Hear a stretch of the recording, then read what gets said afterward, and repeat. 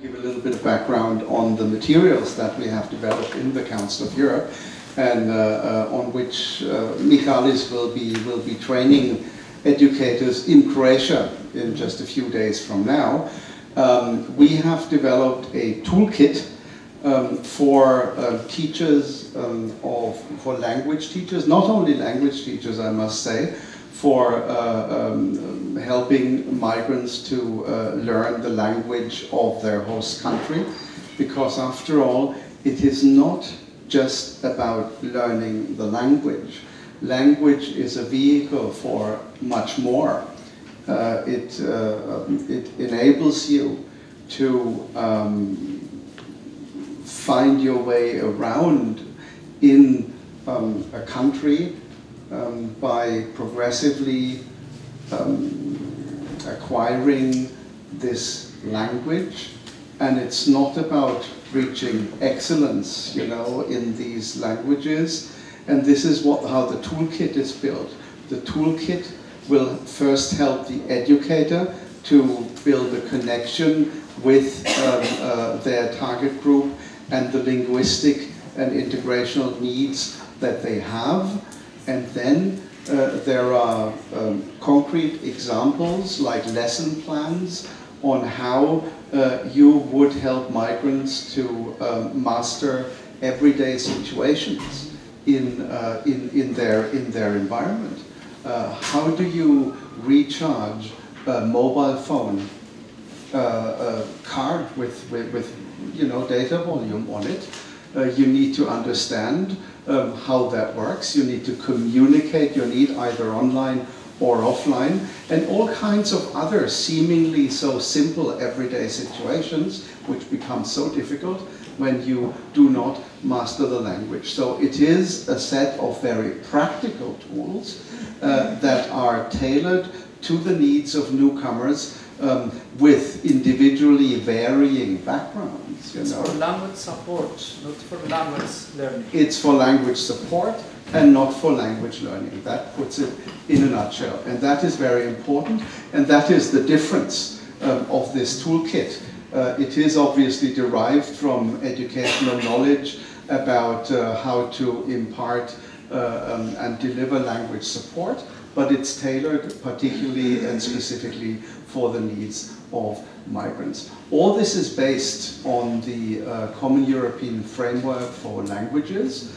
Uh, many of you will know that. Uh, there is that self-assessment possibility to um, assess your own language uh, capacity ranging from A1, beginner's knowledge, uh, through A2, B1, B2, C1, C2, and C2 would then be an almost native speaker quality in that um, foreign language. Uh, that has come to be very widely used in, in, in Europe. Uh, it is a Council of Europe product, not everybody knows that, and we're continuing to, to develop this also in view of uh, uh, the different educational backgrounds um, of migrants, because this is our theme today. Uh, there are people coming to Europe who have a very limited formal educational background and who even in their own mother language when it comes to reading and writing, for example, uh, uh, might have might have deficiencies. And of course, when it comes to learning another language, these factors uh, will have to be uh, taken into account as well. So we are now working on so-called descriptors. These are, you know, bits of, of, of, of text that describe the level of proficiency in the different um, um, aspects of language reading, writing, producing, uh, receiving, and, and, and so on. So we're working on pre-A level 1 descriptors in order to better take into account uh, learning processes and, and curriculum requirements uh, for, for people who actually are below the A1 level as defined by the CFR. I don't want to get too technical now, just maybe one final point. Um, these um, proficiency levels increasingly play a role also in um, um, um, citizenship and knowledge of society tests when it comes to acquiring the citizenship of a country uh, in, in, in which you live and would want to um, um, become become a formal citizen.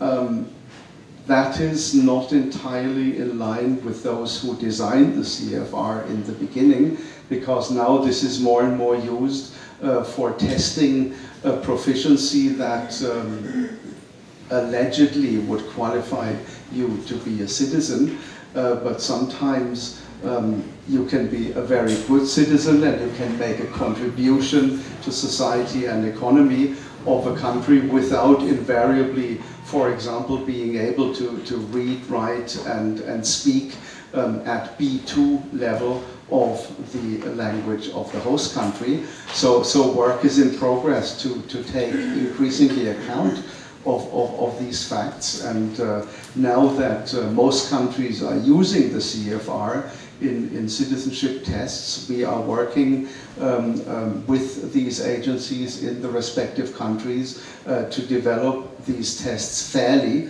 and to take account of the actual needs also of a society um, in an economic and social context um, and, and, and ask for more differentiation and not uh, just um, set overall levels um, of proficiency with which maybe even people who always have lived in that country might have a problem.